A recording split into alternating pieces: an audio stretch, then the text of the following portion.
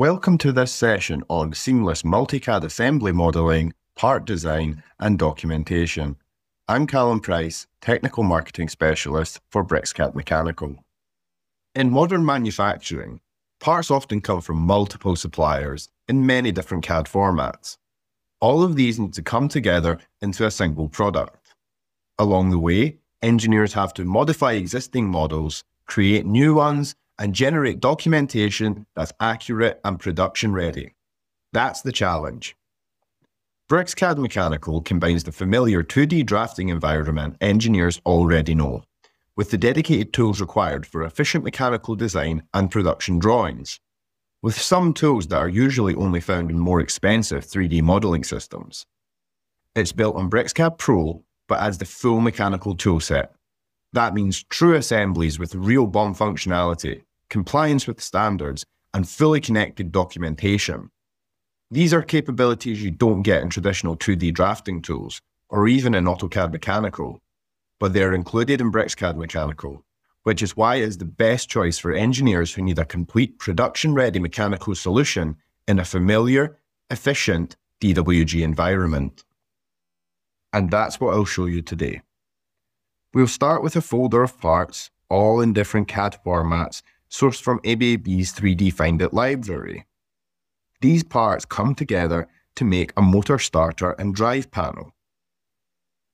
Here's the workflow. Communicator for BricsCAD takes care of compatibility, so you can bring parts in from all those different systems. BricsCAD Mechanical gives you the tools to assemble them, document them, and take them through to production. Communicator for BricsCAD is what makes this workflow truly multicad. It supports a wide range of formats and gives you control over how models come in, from PMI and metadata to repair, simplification, option for hidden parts, and even preserving full assembly structures. In V26, the settings interface has been updated and is now easier to manage. Searching Communicator we can set options like background generation, which allows you to import assemblies in the background while you keep working. And we can choose to bring parts in as mechanical blocks, so they're ready for the BOM and assembly use. Here I'm importing a SOLIDWORKS assembly file. Notice how the entire structure is preserved, and parts come across as mechanical blocks. That means the model is immediately BOM ready, with no extra steps required. Here I've opened a new drawing, First, I'll insert the SOLIDWORKS assembly I just imported and saved as a DWG file. It comes in as a mechanical block with its structure preserved. Next, I'll insert another component that was saved as a DWG. This is the bottom-up assembly approach. Now, I'll bring in a step file, but I have to use import because insert is DWG only. You'll see this fails. Communicator won't bring a non-native file directly into an active assembly as a mechanical block. I'll open the communicator settings and switch the product structure to block and then re-import. It comes in, but as multiple separate blocks. So first, I combine them into a single block and then convert that into a mechanical block. And this is how you would do a top-down assembly approach. Using RefEdit, I can edit this panel directly in place within the assembly. Here, I'll sketch directly from the mounting hole geometry of one of the components. This gives me an accurate reference without needing to measure. I can then copy that sketch to all similar hole locations. Skipping ahead, here's the completed set of sketches. Now I can run extrude subtract to cut them through the panel. All the mounting holes are created, perfectly aligning the components. From the standard parts library, I can drop in the fastener I need and adjust its parameters to match the hole. With the fastener in place, I then use constraints to secure it properly within the assembly.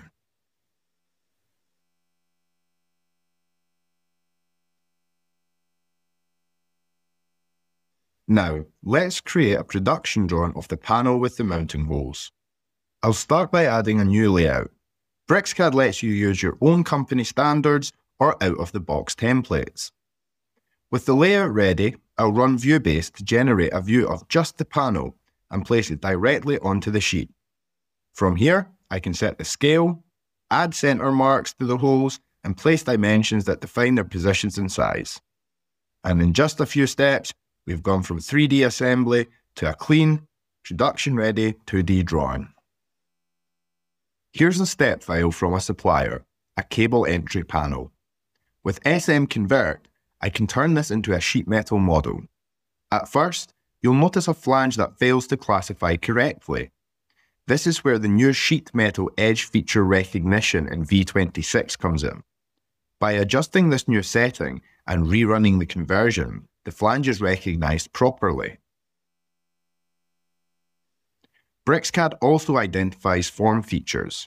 I can select one, find all similar, and replace them with a standard library feature, giving me full parametric control. So even starting from neutral geometry, I now have a clean, editable sheet metal model. Now, let's create some assembly instructions. On this DIN rail are two devices, and each one is made up of two components.